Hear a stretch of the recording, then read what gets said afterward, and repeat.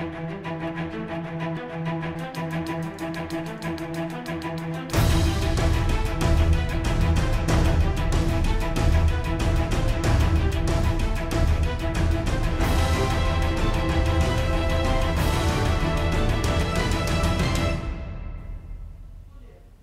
Вітаю з вами Шахімат. Мене звати Андрій Нікітін. Сьогодні ми говоримо про захист пам'яток історії від можливих обстрілів. З нами начальниця управління з питань культурної спадщини Дніпровської міської ради Надія Лиштва.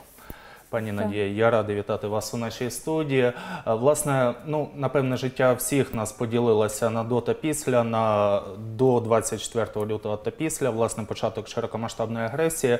От зазвичай, коли я тут спілкуюсь з політологами, ми починаємо вже після 24 лютого.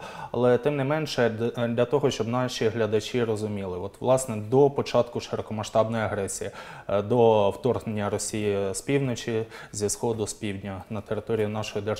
Власне, які роботи проводились на пам'ятках культури взагалі для розуміння, е, скільки їх у нас у місті? Тобто є пам'ятки зрозуміло національного значення, місцевого значення. От е, яка різниця? Зрозуміло, можливо, це можна обговорювати 28 хвилин, але тим не менше, так якщо стисло. Ну, пам'яток у нас в місті наразі 296 е, за всіма видами та категорії, та щойно виявлених 114 об'єктів. Е, З них, е, з тих, що пам'ятки, 19 пам'яток всього національного значення. Пам'ятки по закону охороняються власниками або уповноваженими органами. У зв'язку з тим, що на тих пам'ятках, де які в приватній власності або в державній чи комунальній обласній, е, по деяким йшли роботи до війни, планувались на цей рік. Ми знаємо ряд знакових об'єктів, які мали почати реставруватись в цьому році. Це і Харківська 6, по якій був розроблений проект реставрації замовлений приватним власником цієї будівлі, мав розпочатися як реконструкція кварталу, так і реставрація самої пам'ятки, яка вже 30 років стоїть власне від неї тільки стіна. Мала розпочатись реконструкція готелю Україна, е, про яку теж багато писали, і проект щодо реставрації якої теж вже був погоджений в Міністерстві культури. Це будинок Хрінникова, да? Так.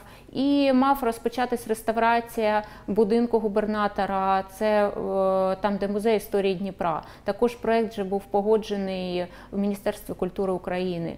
Е, І управління вело ряд об'єктів, по яким мала розпочатись реставрація в цьому році. Це сходи по Шевченка 33, і Харківська 5, е, двоповерхова наріжна будівля, і по Боброва 28. Це об'єкти, які перебувають в комунальній формі власності, е, оскільки управління може. Фінансувати роботи тільки на тих об'єктах, які перебувають у власності територіальної громади міста Дніпра. Ну і по ряду об'єктів ще були заплановані невеликі реставраційні роботи, як органами місцевого самоврядування, так і е, державою. Мала стартувати всім відома велика реставрація, і проект був також розроблений і по філармонії, і е, Це училищу культури. програма. Так, да. е, По тим об'єктам, які підпадали під велику реставрацію, документи вже пройшли тоді конкурсний відбір, і в цьому році це все мало стартувати, і фінансування було виділено. Ну, як ми бачимо, розпочалась війна, всі ці роботи заморожені, і приватні Е, власники. Пані Надія, от про це я хотів трохи пізніше поговорити. От е, власне, щоб підсумувати той блок до 24 лютого. От можливо, ви назвете для наших глядачів пару об'єктів, які були реставровані. Ну, от, скажімо, те, що на згадку спадає мені, от е, посічових стрільців один, е, можливо, те, що було власне до початку широкомасштабної агресії, Е, хоча б парочку об'єктів. Ні, ну була відреставрована пам'ятка національного значення сукняна фабрика. Вона стала окрасою Але того приватним району. коштом. Ну, звичайно, пам'ятки вони можуть перебувати в різних формах власності. Якби е, проводені також от приватної власності на Троїцькій 5, стіна, яка теж 30 років стояла. Нарешті була приведена дороблена реставрація, і буквально місяць тому навіть охоронну дошку вже встановили на фасаді. Те, що комунальне, ну там проводились роботи як е, від управління, так і власниками балансоутримувачами. Багато об'єктів, які мають статус значної історичної забудови, е, в яких школи або навчальні заклади. Там е, проводилась реставрація е, департаментом гуманітарної політики. До речі, і на Фабра 16, оцей кутовий будиночок особняк Тісина, також планувалася реставрація в цьому році. Навіть також вже був розроблений проект. Тому, звичайно, війна зараз зупинила велику кількість реставраційних робіт, до яких не факт, що зможемо відразу повернутися навіть після завершення війни, оскільки буде здорожчання будівельних матеріалів, е, треба буде знову віддавати проекти в експертизу. е, Бо навіть перед е, початком цього року будівельного, 22-го, вже відбулось здорожчання саме. Металу, деревини через світові тенденції, навіть метал здорожчав у 6 разів. Тобто це все йшло коригування кошторисів, що зараз буде після війни, на скільки процентів здорожчають вже погоджені проекти, це невідомо, навіть складно обрахувати. І чи буде це на часі з урахуванням тієї е, діри у бюджеті, да, у державному, у місцевих бюджетах, яка є Е, наразі? Тут ще питання в тому, скільки, не дай Бог, будуть ракетних обстрілів міста, і які ще об'єкти можуть бути пошкоджені. Може так стати, що першочергово доведеться реставрувати, навіть не реставрувати, а робити протиаварійні роботи на пошкоджених будівлях, вже е, які постраждали від е, військових Е, дій. Ну, власне, ви майже вже відповіли на це питання, але тим не менше, я його озвучу. Да, от по бюджетах, по міському бюджету, по обласному, по державному, ну ми знаємо, що насправді ситуація критична із надходженнями, відповідно, ем, з тими коштами, які на які може розраховувати держава та місто, зокрема. От тобто, от щоб підсумувати, бюджет міста Дніпра, от за інформацією Бориса Філатова, не дуже е, така свіжа інформація. Десь е, півтора місяці тому він її озвучував в одному з інтерв'ю. Він говорив, що недоотримання є е, на рівні 60% від того, що планувалося, від того, що було закладено в проєкті бюджет, бюджету міста, за який проголосували у грудні. От тобто змоги фінансувати е, роботи на об'єктах культурної спадщини зараз немає зовсім. Я вірно розумію? Ну, це навіть не залежить від е, міського бюджету його наповненості, оскільки є просто постанова Кабінету міністрів України, яка забороняє фінансування даних видів статей. На загальноукраїнському рівні це не тільки ми не можемо зробити, це в принципі наразі зупинені роботи по всій Україні. Це не залежить від територіальної громади. Просто казначейство, керуючись постановою Кабінету міністрів, не пропускає фінансування цих статей. Зараз внесли коригування в цю постанову, уточнення.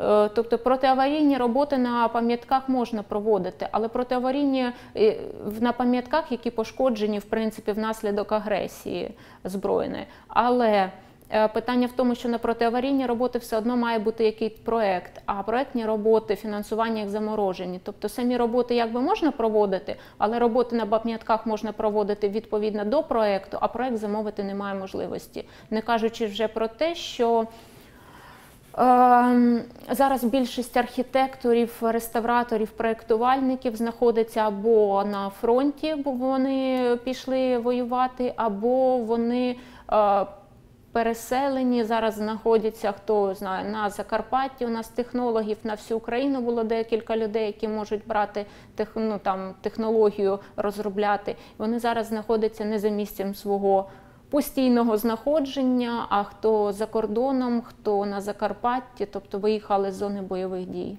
Угу. Е, так, пані Надія, от е, власне по обстрілам давайте поговоримо. От е, ну ми знаємо ситуацію, скажімо, по області. Вона не є однорідною. Ми бачимо, скажімо, Криворізький район, ми бачимо Синельниківський район, бачимо е, ту ж Зеленодольську громаду. Там, на жаль, обстріли, руйнування є фактично кожного дня. Ми це бачимо по звітах, в тому числі голови обласної військової адміністрації. От по місту Дніпру, на щастя, більш спокійна ситуація, але тим не менше, перший такий е, серйозний обстріл е, це був, е, якщо я не помиляю, ну всі чули 24 лютого, що відбувалося, да, ці всі вибухи. Перший серйозний такий обстріл це було 11 березня. Останній серйозний обстріл, на жаль, є загиблі у нашому місті. Е, Це було 15 липня, фактично, от трохи більше двох тижнів тому. От внаслідок цих обстрілів чи були пошкоджені якісь об'єкти культурної спадщини? Наскільки серйозні ці, ці пошкодження, якщо вони були? От власне про це хотілося б від вас почути. Е, ну, дійсно, обстрілів, я не знаю, по області чутно багато, але щодо пам'яток, жодної інформації. По області у нас багато пам'яток. Я поки не зустрічала інформацію, чи пошкоджені зараз в Нікополі пам'ятки, яких там близько е, щойно виявленими під 40 об'єктів. Це тільки архітектура, історія, археологія. Тобто зараз інформації по області, по пам'яткам відсутня. Я поки не знайшла жодної інформації. Ну, це, А, це там е, така досить, е, ну не то що складна, але бюрократична процедура. Громади передають в область, область там ще кудись передає. Тобто, Ну, там не в цьому це є. У нас при першому обстрілі 11 березня було пошкоджено незначно пам'ятку архітектури по Бельгійській 7. Було вибито шибки на вікнах, дверях, але таких значних уражень не було. Власник цієї будівлі це завод, який колишній Петровського, потім він багато разів Дніпровський металургійний завод зараз. Ну так, да. Е, Там вони е, вжили заходів, тобто позакривали ці вибиті вікна і двері, е, щоб не було ураження від атмосферних там опадів цієї будівлі. Потім була ще обстріл цього СТО, де було пошкоджено мозаїку радянського періоду. Вона, звичайно, не була на обліку, але у нас питання таких мозаїк взагалі в е, такому підвішеному стані. А що за мозаїка? От для наших глядачів, щоб вони просто Ну, розуміли. Ви публікували на- в тому числі в Фейсбуці, там в інтернеті публікували, але зараз ми на телебаченні в прямому ефірі, щоб ті, хто не знають, почули це. Ну там мозаїка була десь 70-х, 80-х років. Вона не була такої тематики комуністичної чи з використанням символів комунізму. Це була просто робітнича тематика, оскільки ця е, організація займалася перевезеннями важкими транспортними, то там були зображені ці машини, викладені з е, керамічної плитки, ну такі мозаїчні робітнича тематика характерно в принципі до радянського союзу, але у нас немає так і не було розроблено ніяких критеріїв оцінки такої радянської спадщини, як вітражів, до речі, так і мозаїк. Е, Тільки взимку була утворена при Мінкульті комісія, яка мала займатися е, оцінкою, розумінням цінності цих об'єктів. Бо ми не можемо їх просто викреслити, не сказати, що це радянська спадщина. Її робили наші українські архітектори, наші українські художники, скульптори. Тобто це наша спадщина, від якої відмовлятись тільки тому, що ми там з чимось боремось. Так можна боротися проти, проти всього того, що було, і виявиться, що ми залишиться ні з чим, бо ми відрубаємо свою власну спадщину, своїх власних митців. І останній е, та мозаїка була повністю знищена і вже не підлягає відтворенню, в принципі, як і будівля була пошкоджена. Е, Останній обстріл 15 е, числа він пошкодив 15 липня. А, да, він пошкодив дві наріжні будівлі на вулиці Робочій, які являються щойно виявленими об'єктами культурної спадщини. Також там вибиті були вікна на сусідніх будівлях, які в статусі значної історичної забудови на одній навіть тріщина з'явилась. Е, Все це потребує інженерних обстежень в подальшому, оскільки це ну, дорогі роботи. Е, І управляючі будинки, я не знаю, там ОСББ чи управляючі компанії, вони не зможуть фінансово потягнути дані роботи. Е, Ну а вікна так зараз позакривали, але десь повідпадав декор. Е, Було обстежено 17 липня. Співробітники управління вийшли, обстежили, зафіксували акти, як і по закону передано акти огляди до обласного органу охорони культурної спадщини та надані до Міністерства культури. Е, Пані Надія, от щоб наші глядачі знову ж таки зараз не бігали там, е, не шукали десь у Вікіпедії чи в якихось енциклопедіях, просто от е, пояснити, ви сказали такі терміни, як щойно виявлені об'єкти культурної спадщини, як значна е, історична забудова, е, значуща. Тобто, от поясніть, от що, що це за власне такі Ну, це терміни, які прописані в законодавстві України як пам'ятка, а це є щойно виявлені об'єкти культурної спадщини. Вони мають такий статус до того, як розроблена облікова документація, відповідно, є подана до Міністерства культури. Тільки Міністерство культури може визначити, об'єкт стане пам'яткою чи ні, бо при них є експертна комісія, бо кожна територіальна громада вважає свої власні пам'ятки ну, дуже цінними. Ну, насправді вони так і є для громади цінними. Але тільки експертна рада може визначити, чи є вони пам'ятками в загальноукраїнському сенсі, чи не є це якимись типовими друковими тиражованими е, копіями, чи який відомий архітектор створив ці об'єкти. Для цього є облікова документація, подається, але до того вирішення питання занесення не- не занесення до держреєстру об'єкту присвоюється статус щойно виявлений об'єкт культурної спадщини, який зберігається. Ну, і е, до занесення, не занесення, і якби охороняється на рівні пам'яток.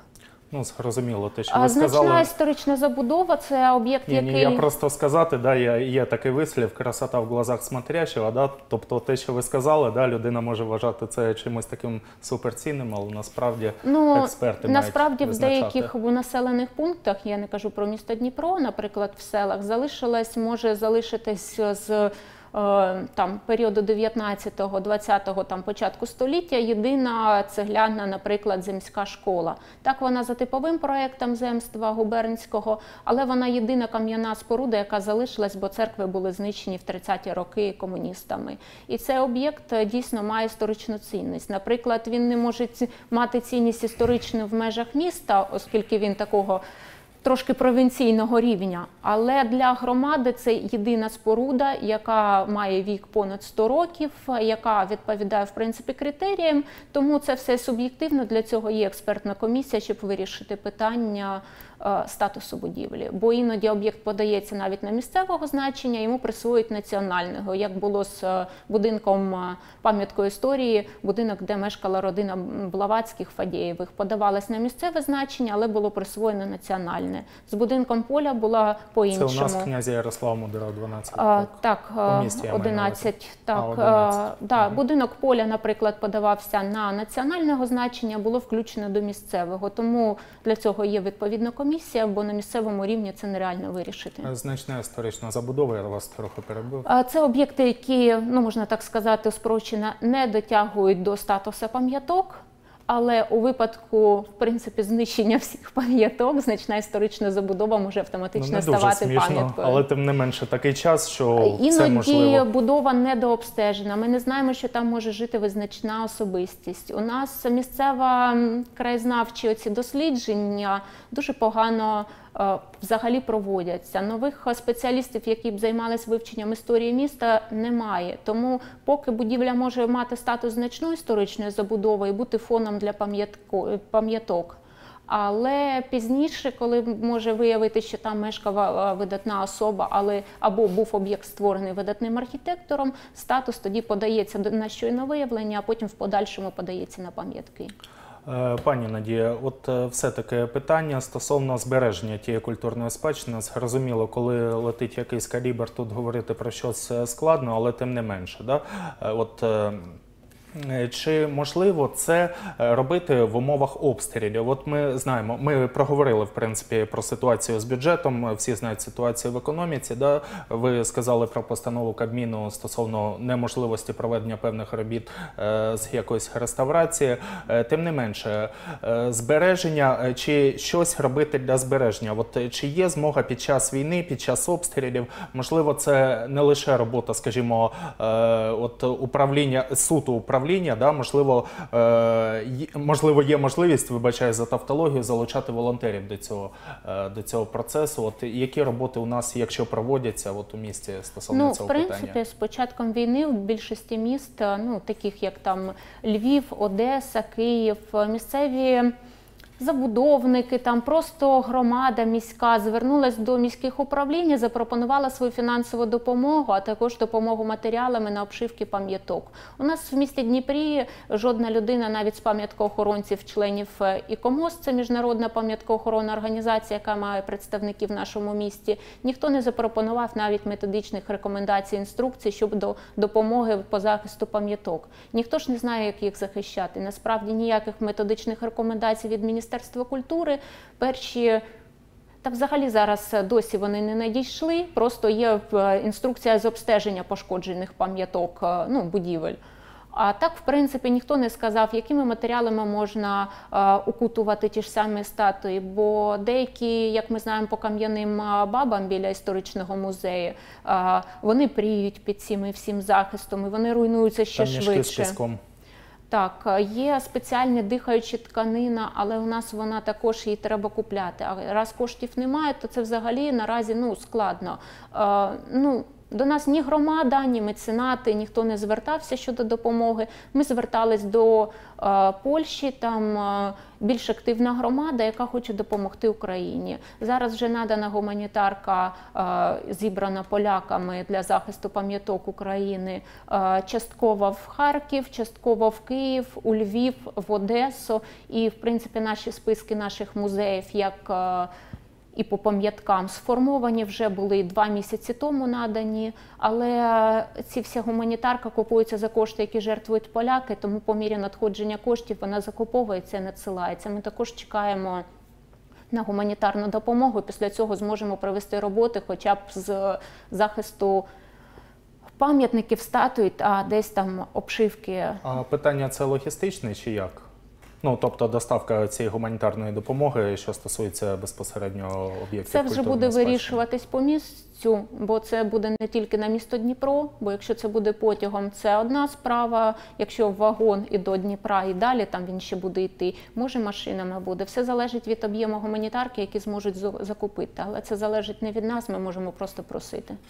Е, Так, а от е, ви сказали, от скажімо, по тих таких е, невеликих руйнуваннях, але все-таки які є по щойно виявлених об'єктах, чи є змоги проводити роботи, скажімо, по, по ну я не знаю, по відновленню? В принципі, е, відповідь на питання очевидна, але е, з, з урахуванням нашого попереднього діалогу, але тим не менше, все-таки Ну, управляючі компанії, наскільки я знаю, зараз проводять обстеження, замінюють скло, вибите, десь мешканці самі замінюють, десь е, що в приватній власності, там магазини, також робляться силами власників цих приміщень. Роботи ведуться. Ну, це ми не можемо фінансувати комунальні підприємства, якими є управляючі компанії, в принципі, можуть проводити оці фінансування поточних ремонтів. Це допустимо тієї ж постанови Кабінету міністрів. Тобто немає заборон. так? Е, На реставрацію да, заборони є. Там на проведення певних е, видів робіт, саме по капітальним видаткам, заборона. На поточні роботи дозволено проводити. Тому засклення там можуть поміняти, але якщо пошкоджена несучі конструкцію будівлі, то це зовсім інша історія, яка потребує. Мільйони вкладень з укріплення, з розробки проекту, конструкторських ну, прорахувань. До речі, не планував. Ви сказали слово е, засклення е, нове, е, таке інше. Не планував питати, але тим не менше, от ми знаємо, перед війною була досить серйозна проблема. Що, скажімо, особливо по центру міста, на пам'ятках, на об'єктах культурної спадщини, мешканці проводять самовільні якісь роботи і таке інше. Управління мало змогу наклада... вип- е, робити певні приписи, накладати певні штрафи відповідно до законодавства. От е, чи можливо це робити під час війни? От ну, все таки, все таки так. Люди, люди проживають у місті, хтось виїхав, хтось залишився. Е, Ті, хто залишились, можливо, е, не зважаючи на війну, хочуть якийсь там собі новий балкон на пам'ятці. От е, управління, як якщо, якщо такий факт виявлений, як реагувати? Ні, буде? факти виявляються, оскільки як ну, війна вже йде в принципі не перший рік, і нікого не зупиниш такими речами. Балкони як склились, так і продовжують склитися. Управління спільно з інспекцією благоустрою продовжує зупиняти ці роботи і приводити це в законодавчі рамки. Так само накладаються штрафи, на це заборони немає, тому якби мешканці роблять, як і раніше, портять пам'ятки. Ми намагаємось це зупинити, бо ці конструкції це дуже небезпечно, якщо вони самовільні, важкі і можуть навіть когось вбити. Тут навіть іноді питання не в самій пам'ятці, а питання в тому, що такі самовільні роботи не погоджені. Становлять небезпеку для самої громадян міста. Е, Пані Надія, от е, пару місяців тому, у травні місяці, зокрема, досить активно, у квітні, якщо я не помиляюсь, досить активно обговорювалося питання щодо декомунізації. Е, Зокрема, у місті Дніпро були проведені певні роботи з демонтажів окремих об'єктів. От зараз про це якось не дуже чутно у публічному полі. Е, Що у цьому напрямку робиться, чи можливо не робиться? Демонтуються наразі невеликі об'єкти, які не перебували на обліку, так як меморіальні дошки. От на тому тижні в п'ятницю було демонтовано меморіальну дошку на школі е, на навчальному закладі, яка була присвячена Федорову. Фьодорову. Е, який підпадає під закон про декомунізацію. По ряду об'єктів, по пам'яткам всі переліки були переглянуті і надіслані до обласного органу охорони культурної спадщини на незанесення до реєстру або позбавлення статусу через підпадання під закон про декомунізацію. Е, Ці переліки були областю надіслані вчасно до Міністерства культури, де вже перебувають десь місяць, і ми чекаємо якоїсь відповіді. При Мінкульті сформована відповідна експертна рада з питань декомунізації, дерусифікації. Е, Без її рішення ми без рішення Мінкульта неможливо далі проводити роботи, Е, бо неможливо знести пам'ятник, який перебуває в державному реєстрі або має статус пам'ятки. Поки цього пам'ятку не знімуть статус, пам'ятка має залишатися на своєму місці, іначе це порушення законодавства, в тому числі під кримінальну статтю підпадає. Тому зараз чекаємо відповіді. Всі була робота на місцевому обласному рівні, проведена вчасно. І, не тільки в місті Дніпрі подано було по всій області пакетом документів. Тому і ми, і область просто зараз чекаємо. З нашої сторони все було виконано. Е, Пані Надія, буквально 2-3 хвилини у нас лишаються до завершення ефіру. Власне, от е, завершення війни. Ми всі цього чекаємо, чекаємо нашої перемоги. е, І якнайшвидше сподіваємось, це буде. Сподіваємось, що в цьому році це буде все-таки. От після завершення війни, місто Дніпро, беремо ж знову таке. Які об'єкти культурної спадщини, ну зрозуміло, напевне, це було закладено у бюджеті на цей рік. Які об'єкти культурної спадщини потребують е, негайної реставрації, негайного відновлення? Зараз це неможливо сказати, бо ми ще не знаємо, скільки об'єктів культурної спадщини може бути пошкоджено Ні, до ні, от, війни. от, от е, уявімо таку ситуацію, да, що е, те, що ми маємо зараз, от те і залишається. Жоден об'єкт тфу-тфу-тфу, постукає, що називається не по дереву, по склу, але тим не менше, да, от е, все залишиться так, як є. От які з тих об'єктів, що ми маємо у місті, потребують негайних робіт? У нас багато об'єктів потребують нагальних робіт, але в принципі будуть зроблені першочергова реставрація по тим об'єктам, по яким вже є розроблені погоджені проекти. Просто будуть приведені кошториси у ціни, які будуть до кінця війни, тобто на актуальні розцінки. І це Е, будуть парочку об'єктів, хоча Це і ті ж самі сходи по Шевченка 33, Боброва 28, Харківська 5, по тим, яким були проведені вже ну, розроблені проекти. Так само буде дороблений благоустрій могили Красносельського, на які ми поки змогли до війни встигли, навіть вже під час війни встановили барельєф, який був розроблений і замовлений до війни. А так ще там були передбачені роботи по ряду братських могил, оскільки їх теж треба проводити до належного стану і міняти інформацію, викладену там на цих меморіальних плитах на актуальну. Що ж, я вам дякую за цю розмову. Нагадаю, сьогодні ми спілкувалися з начальницею управління з питань охорони культурної спадщини Дніпровської міської ради Надією Лиштвою. На все добре.